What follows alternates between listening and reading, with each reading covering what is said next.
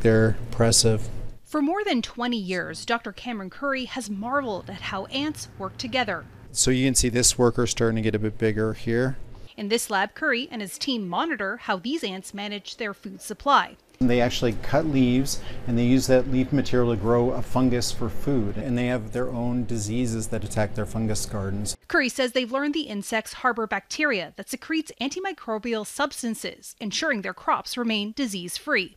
That understanding could help unlock new ideas on how to help people and the growing concerns surrounding antimicrobial resistance. One of the things that we need to do is discover new chemicals, new antibiotics to treat those infectious diseases that these bacteria and fungal pathogens of humans haven't had a chance to evolve resistance to. So we need new antibiotics. The research has taken Currie around the world, including Panama and Costa Rica.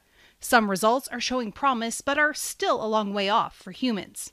We have a number of antimicrobials that are very effective against bacterial infections, but our major and most promising antimicrobials are uh, against fungi, so these are antifungals. Bacteria on ants isn't the only thing being studied here for potential future drugs. Staff and students are also researching bacteria on other insects, including bees, wasps, and beetles.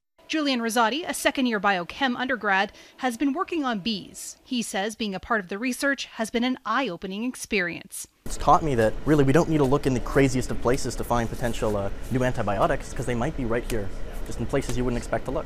The science we do we really love because it not only has the potential application of treating a very important issue of antimicrobial resistant diseases and contributing a knowledge base that hopefully helps to resolve this. Katherine Ward, Global News.